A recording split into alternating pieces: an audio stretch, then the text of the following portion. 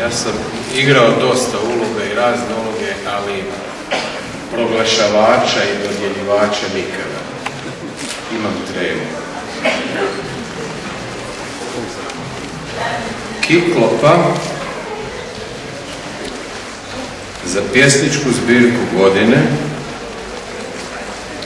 dobio je Prtenjač.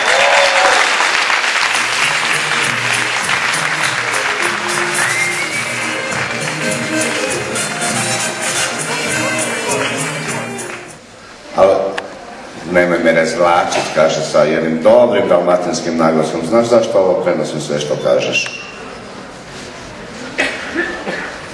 Ideš uživo. Tako je, upravo tako, na razglas. Kaže, nisi valjda na razglasu. Jesam i čestitam ti.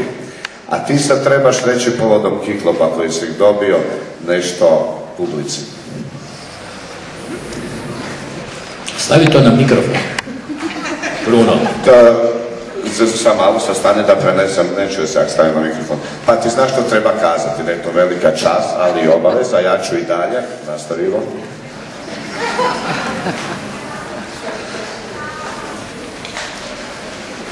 A ja ću i dalje ostati uzoran omladinac koji će dalje vrijedno raditi i pisati uzorite knjige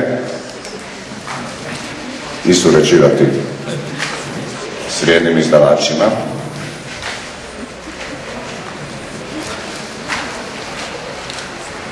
Tako da opet dođe Kiklopa i dođe u Pulu, što ovaj put, nažalost, i svoju štetu nije mogao. Hvala vam svima.